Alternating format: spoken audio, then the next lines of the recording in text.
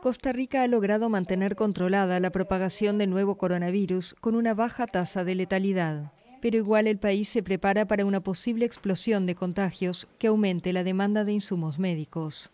Por eso, laboratorios y centros de investigación han puesto su conocimiento al servicio del combate a la enfermedad, con toda una gama de productos que permitan al país reducir su dependencia de bienes importados en momentos de creciente demanda global. Por ejemplo, la Universidad de Costa Rica y el Instituto Tecnológico de Costa Rica desarrollaron prototipos de ventiladores para el sistema de salud. Actualmente están en fase de pruebas finales. También se trabaja en la fabricación de hisopos elaborados con resina, para tomar las muestras en las pruebas de contagio de COVID-19.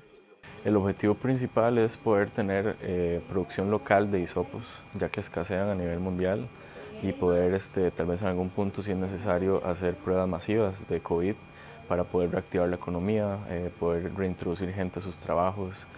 La universidad avanza en el desarrollo del proyecto, que ya planea expandir en asociación con privados la empresa privada ha colaborado con su interés en escalar esta producción a ya niveles industriales. Entonces, tanto la producción como el empacado y el esterilizado sí se utilizan o sí se requieren en cantidades ya, digamos, de miles o de cientos de miles. Un grupo de estudiantes e investigadores trabaja también en la producción de mascarillas de protección para el personal de la salud.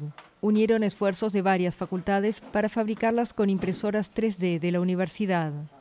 Este dispositivo permite dispersar lo que son las gotas o el aerosol solo dentro del dispositivo, disminuyendo el riesgo de la transmisión entre el personal de salud.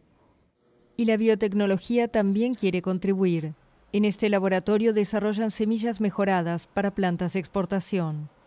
Y lo que buscamos con esto es ayudarles a los productores nacionales a eh, recuperarse eh, después de la crisis que vamos a estar enfrentando con esta pandemia. Desde la década del 90, Costa Rica se convirtió en un pequeño hub de alta tecnología, con cerca de 250 empresas del sector.